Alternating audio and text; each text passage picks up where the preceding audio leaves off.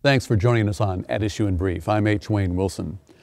The state of Illinois spends approximately $15 billion annually on Medicaid patients. Governor Quinn has proposed cutting about 2.7 billion of that 15 billion out of this coming year's budget. I've asked Farrell Davies, who's the CEO of Heartland Community Health Clinic, to join us to talk about how it impacts a local organization. Your organization cares for what kinds of patients? We care, we really are a safety net provider, so we really target our efforts towards people who don't have any insurance or who have trouble getting access to care, so Medicaid patients. So, with the proposal that's in Springfield on Medicaid and the cuts, how does that impact you financially? Well, currently, we already have a large number of people who come to us without insurance, and it's a struggle for us financially to be able to serve those people. With some of the proposed cuts, there will be even more of those people.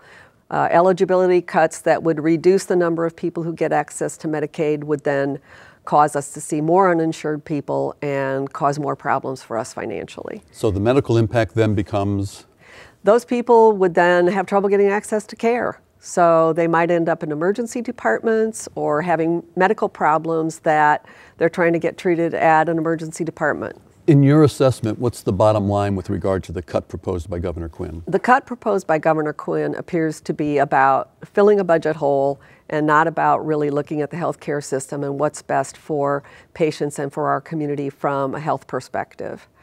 Farrell Davies, thank you so much for joining us. Uh, we wish we had more time to discuss this important topic.